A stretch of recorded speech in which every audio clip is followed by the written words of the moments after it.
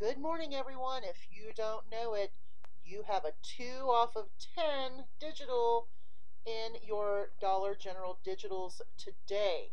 I was going through my coupons to kind of figure out what I was going to do for Saturday, and I found the 2 off of 10.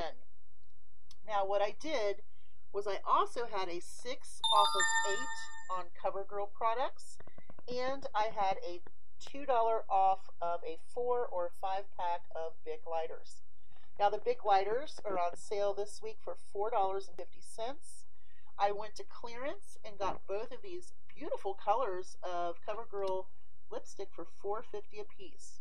Okay, so $4.50 a piece, that was $9. And $4.50 for the Bic razors and a cat's head. So this is my receipt. Uh-oh. Okay, here is my receipt.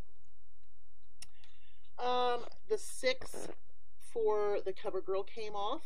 I thought that was a dollar store uh, coupon, but it was a manufacturer's coupon because I was going to um, use some coupons with it, but it would not ring through. I also used of my digitals the two off of the Bic and the 2 off of 10 came off. This was my total. $3.50, 81 cent tax, out of pocket $4.31 at a total savings of $10. That was a pretty good deal because, come on, gotta move, move, move, move.